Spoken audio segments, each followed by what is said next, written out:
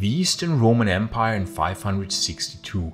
Under the command of the ingenious general Belisarius and the also very able general Narses, the Eastern Romans had managed to reconquer large parts of the former Western Roman Empire. And indeed, this achievement seemed very impressive. About half of the lost territories of the former Western Roman Empire had been reincorporated into the Eastern Roman Empire, and the city of Rome itself was now again part of that empire. So that we could indeed really call this again, rightfully, the Roman Empire. And if one would see the giant successes of the Romans by 562, one might think that this would continue.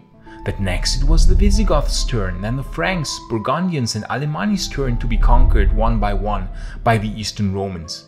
But alas, something entirely different happened.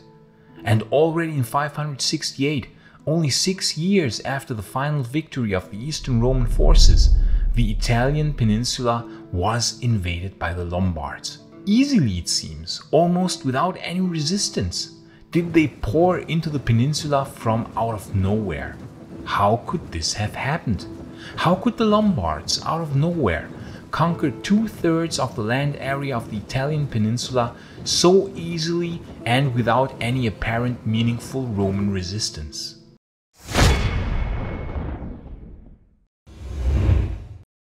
When the last organized Ostrogothic army was defeated in late 552 or early 553 at the Battle of Mons Lactarius by the Eastern Roman forces, under command of the very capable eunuch Narses, we might naively think that the Italian peninsula was thus pacified, that the lengthy Gothic war was finally over. And indeed, this is often how it is wrongly shown on many maps. But in reality, even though the Ostrogoths had finally been defeated after this insanely brutal, costly and lengthy 16 year long war, unfortunately many enemies still remained in Italy that were threatening the Romans. First of all, even though the Ostrogothic armies had been defeated, it is very logical that not all Ostrogoths were wiped out, but in fact most of the Ostrogothic inhabitants of course survived, since not everybody was fighting in the army, especially not women, children and the elderly. Thus, even though the Ostrogothic kingdom had ceased to exist after the Battle of Mons Lactarius, there were still many Ostrogoths left throughout Italy, who, as you can imagine, were not very fond of the Eastern Romans. Now interestingly, before being defeated in battle, the last king of the Ostrogoths, King Teia, sent envoys to the Franks bidding them for help against the Eastern Roman forces. And indeed, in early 553, a large army of Franks and Alemanni crossed into the Alps as the Alemanni had been under Frankish rule by that time. Initially they had some success, but Narses was a very capable general and so he waited for the right time to engage this new Frankish and Alemannic threat. Until then, as we can imagine, the Franks and Alemanni sacked and plundered cities in northern Italy, an area that was already utterly depopulated and in bad condition after by then almost 20 years of war. The time for engagement came in October 554, Narses surprised the Frankish and Alemanni forces and defeated them decisively with minimal losses at the Battle of the Volturnus River. The losses of the Franks and Alemanni were almost total, while the Eastern Romans, who employed heavily Heruli and other foederati forces, suffered minimal losses. But even then, the war was still not over. Because what I left out is that the Goths of course helped and supported the Franks and Alemanni wherever they could. 7,000 Goths had joined the remainder of the surviving Frankish forces and they held out at Compsa near Neapolis until Narses besieged them, forcing them to surrender in 555. But even then, the territory north of the Po River was still mostly held by the Franks and the Gothic remnants and it was incredibly only as late as in 562 that their last strongholds, the cities of Verona and Brixia, were finally subjugated. Now in 562, after 26 incredibly long and brutal years, the war was finally over. But were the Goths all dead? Was the entirety of the Gothic nation destroyed? Of course not. Yes, the armies had been defeated, but the majority of the Ostrogothic population of course had survived. Some decided to accept the new Roman rule, but others, more rebellious factions, could not accept the fact that their kingdom had come to an end, a kingdom which had lasted for about 60 years, two entire generations. Narses, after these giant victories, retired to Rome where he oversaw the rebuilding of the Eternal City with what little funds he received from Constantinople for that task. Narses did order some bridges repaired as well as the Aurelian walls restored, but most other damages that had been inflicted by the long war could not be repaired. I talked extensively about the state of the city of Rome in that time and what damages the Gothic War had inflicted on the Eternal City in these videos here. And if you are like me a total Rome nerd or Romaboo as some people like to say, and I think that you are or else you probably wouldn't be watching this video, then you might be interested in the incredible rings and other Roman accessories which the SPQR shop is building. They make legionary rings, they make rings with different themes, they even make coin replicas, statues, pendants, attributes and terracottas. And the most incredible thing is that they handcraft every single piece. That's right, this is really high quality handcrafted material. There's really no better present for yourself or someone you know who might be a Rome fan. I put the link to their shop in the video description and into the pinned comment. And with this link, you can now even get a 20% rebate for every purchase. I repeat, a 20% price reduction for every purchase from the SPQR shop, which is just an absolutely insane offer. And you can only get it here via the Maiorianus link, because let me tell you, the people from SPQR shop also are absolute fans of the heroic Emperor Majorian. So go and check out their incredible assortment. There will be certainly also something for you. It is said that Narses lived at Rome in the old imperial palace on the Palatine Hill, and that the tax burden of the Romans under his rule was very high. Some therefore say that he was recalled by the new Emperor Justin II because of his over-the-top taxation of the Romans and forced to retire at Neapolis. The legend is often told that in retaliation for this, Narses himself invited the Lombards into Italy. Many historians, and I also think, that this can safely be placed into the realm of legends. Narses fought years of his life for the restoration of Roman rule in Italy, and after his death, which is placed anywhere from 567 to 574, making him very old at the time of his death, in his 90s, his body was even returned to Constantinople, giving him a proper state funeral in presence of the emperor and his wife. This would hardly have happened if Narses had really called for the Lombards. No, something else must have happened, namely the Ostrogoths. Indeed, we already said that the Ostrogoths had trouble giving up the idea of their own kingdom, and many of them survived and joined the Franks and the Alemanni.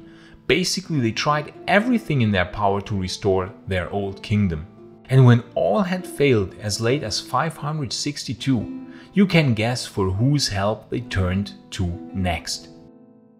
And so it is absolutely no coincidence that the Lombards appeared on the scene out of nowhere only six years after the final defeat of the last Ostrogothic strongholds in Italy. Now we shouldn't forget that the kingdom of the Rugi had become part of the Ostrogothic kingdom under Theoderic. And so when I say the Ostrogoths, I actually also include the Rugi, north of the Alps, whose kingdom was never conquered by the Eastern Romans, because they never advanced so far north. And so the Ostrogoths and Rugi certainly had sent envoys to the Lombards, asking them for help against the Romans. Now ironically, the Lombards had actually been foederati of the Eastern Romans only some years prior. Some Lombards had even fought against the Ostrogoths at the Battle of Taginae, where the Ostrogothic king Totila was killed, and which resulted in a total Gothic defeat. And the Lombards also fought as Eastern Roman foederati against the Gepids in 551. So it is really ironic that the Ostrogoths had become so desperate that they just asked anyone for help, even old enemies. But the Lombards also sensed a great opportunity. Alboin, who had only become king of the Lombards in 560, sensed that a life in Italy would be much preferable to a life in Pannonia, where the Lombards were settled and where he had to constantly be on the lookout for new threats, such as the rising Avars. And so King Alboin led the Lombards into Italy, where they were greeted by the Ostrogoths as liberators. Thousands of Ostrogoths joined the Lombards in retaking Roman held cities. So now a completely new people had entered Italy, joined by the remnants of a defeated people, but Italy itself had been utterly depopulated by the over 20 years of war, famine, and plague. And please consider supporting this channel via Patreon or YouTube membership because I really need your help in order to be able to continue this work on late Roman history. Without your support, I don't know how much longer I can continue this channel because, as you can imagine, the YouTube algorithm does not exactly push a niche topic such as late Roman history. Alternatively, you can help this channel by buying my merch directly here on YouTube. I have created a merch store with some cool or funny or weird late Roman merch, which you can buy directly here via YouTube in the video description. Thank you very much. The lands were empty and desolate, and the Eastern Roman forces were spread thin. Narses by that time was 89 years old. He had been old even in the 550s. But now he was simply too old to fight another time against these new invaders. Without a heroic general of the caliber of Belisarius, who had died in 565, or Narses, there was simply no organized Roman defense. And so the first Roman city, Forum Julii, modern day Cividale del Friuli, fell into Lombard hands in 569, quite certainly facilitated by the help of the Ostrogoths since the Eastern Romans themselves had always the looming Persian threat in the east to worry about. And now the Avars were starting to get stronger and more aggressive, even raiding into the Balkans in 568. And years of famine, plagues, and war had also taken a toll on the Roman population. There weren't enough soldiers to hinder the advance of an entire people, who were on top aided by the Ostrogothic remnant forces. It is said that even 20,000 Saxon warriors had joined the Lombards. So we are talking about actually four Germanic people fighting against the Eastern Romans, Lombards, Saxons, Ostrogoths, and Rugi. Since I said before that the Rugi had been part of the Ostrogothic kingdom and thus were allies and certainly also had sent help and this after the Eastern Romans were weakened and had no able commander such as Belisarius or Narses. Thus, city after city fell to this combined gigantic Germanic assault of four different nations. But even so, there was still impressive resistance. The Eastern Roman navy supplied the coastal cities with provisions, which as a result could then not be taken by sieges and could hold out and Pavia held out for an incredible three years against the combined Lombard, Saxon, Gothic and Rugi siege. Absolutely incredible, and this is often forgotten how only a handful of Eastern Romans held out against such overwhelming forces. Now to make matters worse, not only had the Avars raided deep into the Balkans after 568, but nay, war had broken out again as so often with Persia in 571, thus making it impossible to send enough men against the Germanic invaders of Italy. And let us not even talk about the province of Spania, that also had to be defended against the Visigoths. So the Roman Empire had to effectively fight a four-front war against formidable enemies on all sides, which was just impossible to win. But even so, by 572, the Germanic coalition, as I would correctly call it, rather than purely the Lombards alone, had only managed to conquer the areas north of the Po River, which shows exceptional Eastern Roman resilience against a foe vastly superior in numbers. It would take a few more years until the rest of Italy was conquered, and even so, the Lombards never managed to fully conquer Italy. So strong was the Eastern Roman naval superiority and hence the ability to supply coastal cities with enough supplies to withstand any siege. Only in 751 did the Lombards finally manage to conquer Ravenna, where the Eastern Roman Exarch had ruled by that time for almost two centuries. And so, when you next time hear about the Lombard invasion of Italy in 568, you will know that it was actually a coalition of Lombards, Saxons, Ostrogoths, and Rugi who managed to conquer the weakened, spread out, and leaderless Eastern Roman forces. The vastly superior numbers of the Germanic people and the impossibility of the Eastern Romans to fight a four front war against Persians, Avars, Visigoths, and the Germanic invaders in Italy especially after the plague and the other disasters, allowed the Germanic people to eventually win and for the Lombards to establish their kingdom in 569. I personally think that had the Romans had a genius commander such as Belisarius, with maybe only 10,000 reinforcements from the emperor at Constantinople, the Lombards would not have managed to establish their kingdom.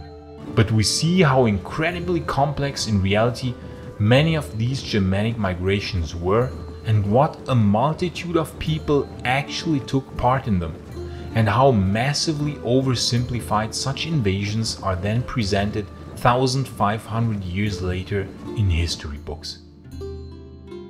And please like and subscribe so that you won't miss any future videos on the fascinating era of the late Roman Empire.